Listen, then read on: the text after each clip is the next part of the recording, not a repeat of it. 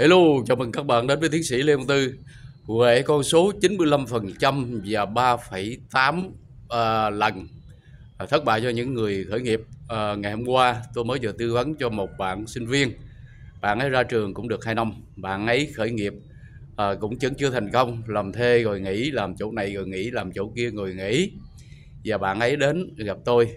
À, bạn ấy là thầy thấy là em có bị mong luôn không? Tôi khẳng định rằng Ờ, à, với tuổi trẻ của các bạn cái chuyện mà mông lung cái chuyện mà không ổn định việc mà xin việc nhiều chỗ làm nhiều chỗ rồi khởi nghiệp rồi thất bại rồi lại làm lại là chuyện bình thường. Bởi vì sao các bạn? Bởi vì những vĩ nhân những doanh nhân những tỷ phú họ thành công là họ đổ gãy theo thống kê đổ gãy từ 3,8 lần.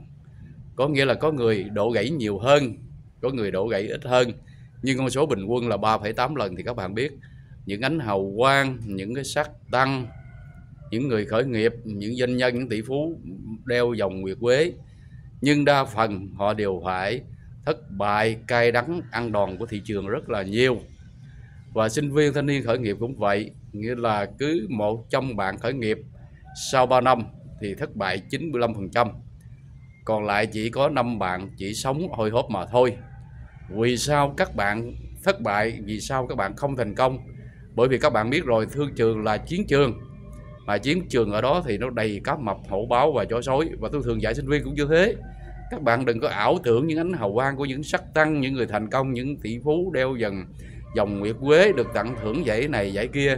Các bạn đâu biết rằng trên quãng đường họ đi, họ phải thất bại rất là nhiều, họ phải làm lại rất là nhiều và họ đứng dậy rất nhiều. Và bên cạnh đó thì có nhiều ngã ngựa và mãi mãi ngã luôn, không đứng dậy nổi. Vì vậy khi khởi nghiệp các bạn cần phải lưu ý bởi vì thường thường cái tuổi sinh học thành công là phải sau 35 đến 40 sau 35 40 thì người ta mới thành công. Cá biệt chỉ có sale Facebook là 28 tuổi hơn 20 tuổi đã trở thành tỷ phú.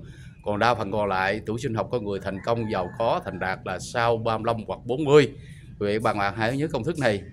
Khi sinh viên thanh niên mà các bạn khởi nghiệp đó, mà các bạn thất bại đó, là có nhiều nguyên nhân. Thứ nhất là để thành công là bạn có hàng trăm kỹ năng kỹ năng bán hàng kỹ năng giao tế kỹ năng kinh doanh kỹ năng khởi nghiệp kỹ năng uh, sản phẩm kỹ năng kênh phân phối kỹ năng xử lý cảm xúc kỹ năng làm việc đội nhóm có hàng trăm thứ. Chứ đâu phải các bạn thấy là những người giàu những tỷ phú doanh nhân người thành công là họ đơn giản chỉ một vài kỹ năng hoặc là học 4 năm ở đại học ra trường gì là đã thành công đâu.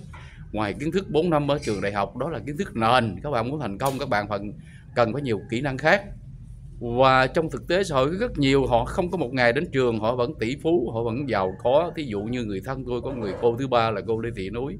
Không một ngày đến trường, cô năm nay thì đã mất cũng đã 4 năm rồi. Lúc cô mất là 94 tuổi, không một ngày đến trường nhưng rất là giàu. Vì sao bạn? Kiến thức về kiếm kiếm tiền kiến thức về kinh doanh, đó là một cái đặc thù riêng. Nếu bạn có năng khiếu về kinh doanh, năng khiếu về kiếm tiền, năng khiếu bán hàng, bạn học cao thì ok. Còn nếu mà bạn chỉ có đơn giản là học 4 năm đại học thì ra trường các bạn phải cần phải trao dồi những nhiều kỹ năng khác. Còn những người mà họ uh, không có học những người họ không được đến trường mà họ giàu có là họ bậc thầy về kỹ năng kiếm tiền kỹ năng bán hàng bậc thầy về kỹ năng giao tế bậc thầy về cái kỹ năng xử lý vấn đề. À, hôm nay đây là một cái video chơi video chia sẻ với các bạn những bạn trẻ bạn thanh niên mà các bạn bước vào đời các bạn kinh doanh các bạn làm ăn các bạn khởi nghiệp hoặc bạn đi làm thêm nữa mà vẫn chưa thành công điều này là hết sức bình thường. Tôi gặp lại là tuổi sinh học thành công là khoảng khoảng tầm 35 đến 40 trở lên. Điều này để nói lên rằng để các bạn hãy yên tâm và hãy luôn luôn đầu tư bản thân mình càng ngày càng nhiều. Hãy nhớ phát triển bản thân phải đi trước kinh doanh cả kiến thức tới đâu tiền đến đó. Chào bạn hẹn chúc các bạn năm mới được nhiều thành công. Và các bạn hãy like đăng ký kênh uh, youtube kinh tế tốt và những cái trang mạng xã hội khác của tôi. Uh, tiến sĩ Lê Hồng tư sẽ có nhiều cái video sẽ có nhiều cái bài viết rất hay các bạn. Cảm ơn các bạn.